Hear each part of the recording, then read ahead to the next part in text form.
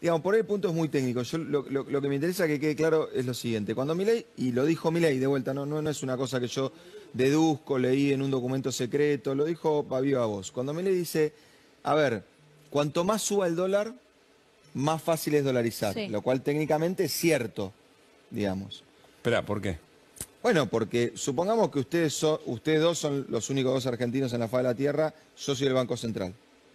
Yo tengo un dólar. Y ustedes ganan al tipo de cambio de hoy mil dólares cada uno. Pero en pesos. Sí. No puedo dolarizar porque tengo un dólar.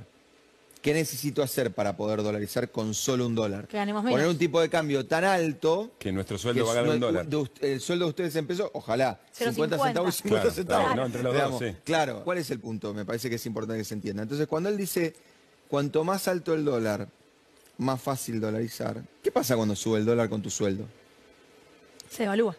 Bien, entonces podríamos haber dicho, de manera un poco más sincera para con la gente, cuanto más bajo tu salario, más fácil dolarizar.